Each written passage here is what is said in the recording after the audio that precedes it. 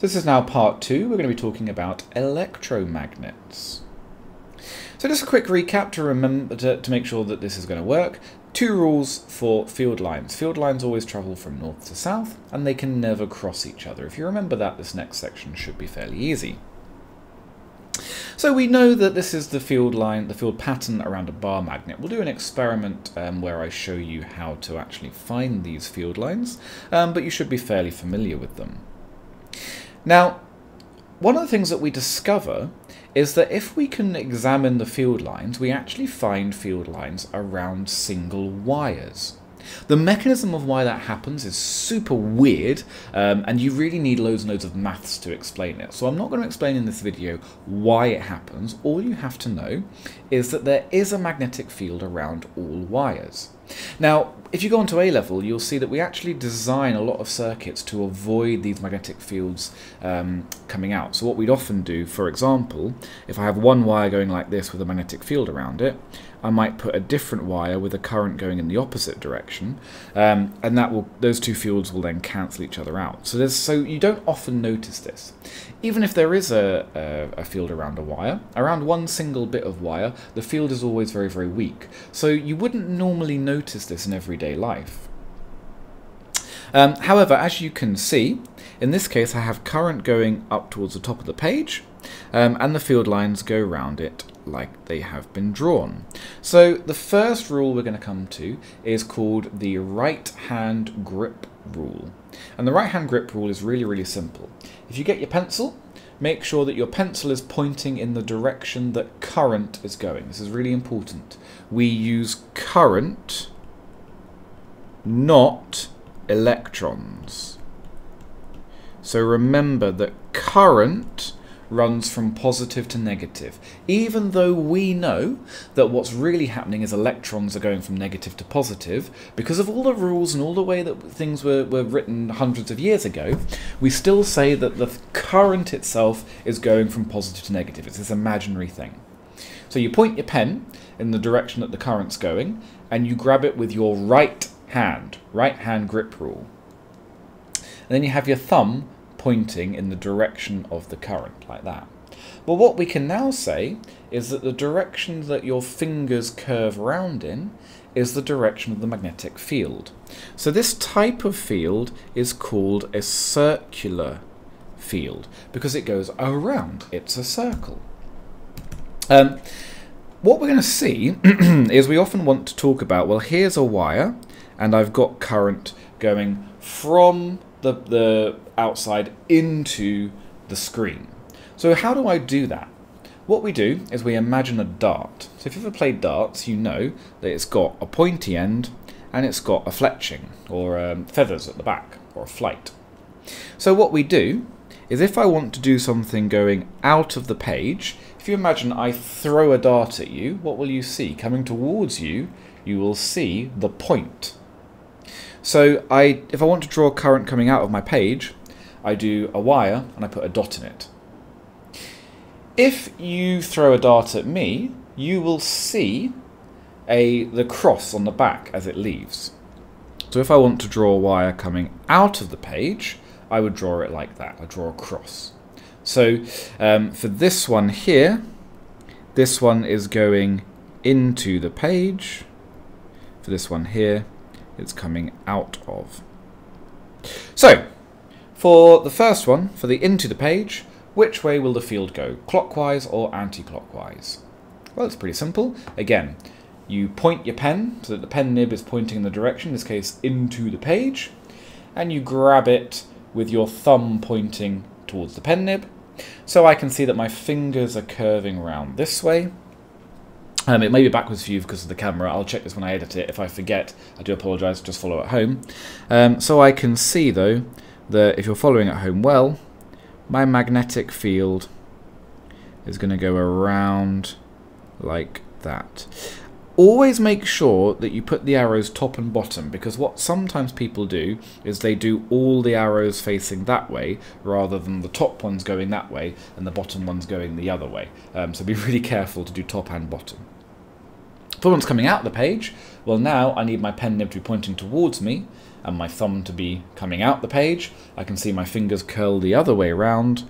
So for this one, it's going to look like that. Yeah, it's curving in the opposite direction. Um, now I could do something quite cool here. If I look at this bit, I've got fields going one way and fields going the other way. So what I have are opposite fields. Um, so what does that mean? Well, it means that these two fields um, will attract each other. So these two wires will pull each other together, which is pretty cool. Okay, so how is it then that we can make an electromagnet? So what an electromagnet is, is we take a power supply and we pass it so that it goes, I've done this the wrong way around, so that it goes through a coil of wire, like that, and then back. So I wrap it around a bunch of times. So what that means, if you imagine that the current is coming out that way, and it's coming out of the page then, and it's looping back and going into the page there. Um, so I've actually drawn this the wrong way around. Let me erase it all and start again. Uh, we want to do it that way, don't we? It's really badly drawing, but don't worry, I will give you a, a proper version in a second. Um, yes, so now it's coming out that way, going in that way. Coming out that way, going in that way. Um, so what I'm saying is that these are the wires, um, if you imagine that I've just sliced through the middle of it, that's where the wires will be. So, what will that do to the magnetic fields? Well, on the top row here, it's coming out of the page. So, right hand grip rule, you want your thumb pointing towards you or pointing out of the page, and you can see your fingers curl around that way. Always remember to use your right hand rule. So, each of these will have a magnetic field that looks like that. Don't get this wrong.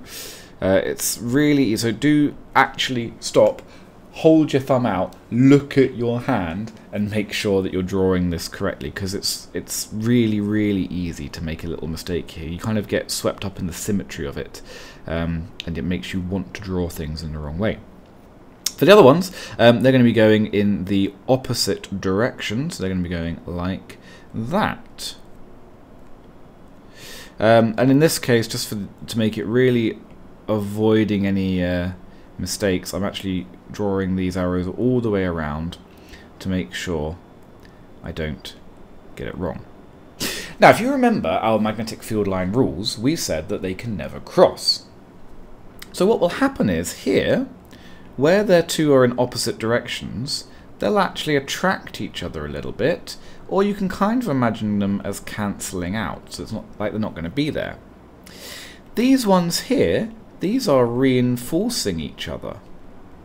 So what we get is lots of field lines going through the centre here, and none at all coming out this way.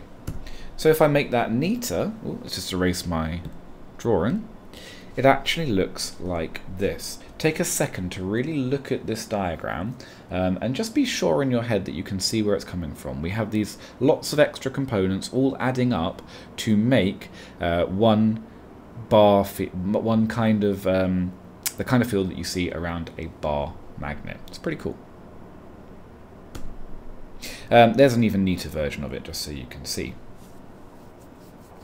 Now, if you had to sit down and work that out every single time, it's going to get really, really confusing for you. So there's another rule that you can use. You can use the right hand grip rule again.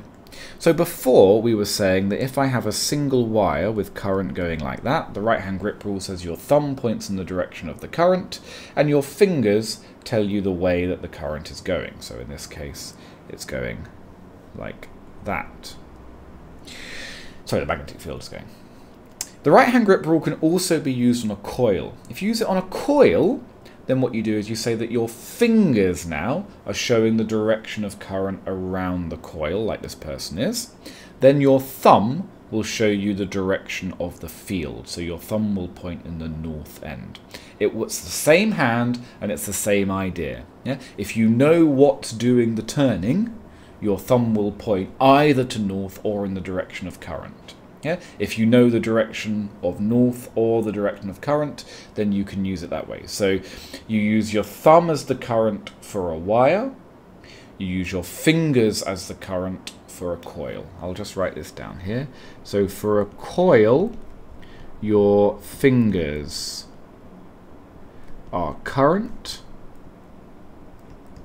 For a wire, your thumb is the current. Okay, and in both cases, for the coil, if your fingers are the current, your thumb is the, the north, the points north. Um, with a wire, if your thumb is the current, your fingers point in the direction that the field is going. so how can we adjust the field strength of this electromagnet? It's really simple. If I have more coils, if you look back to this diagram, if I have more coils, if I add on extras here and here and here, um, so I put more loops in, you might see um, them as well as being coils, they might be called turns because they turn around the magnet each time. Um, if I have more of those, then those fields are going to overlap even more, and they're going to be stronger. If I put more current in, then the fields get stronger as well. Each of those individual coils uh, fields get stronger, so I get a bigger field. Um, and if I put an iron core in the middle, then what will happen is, this would be my iron core here before when the current is off. When the current is on, the wires generate a magnetic field, but the core magnifies that and makes it even stronger because the core's domains then add up or line up, and then the core um, will create an even stronger field.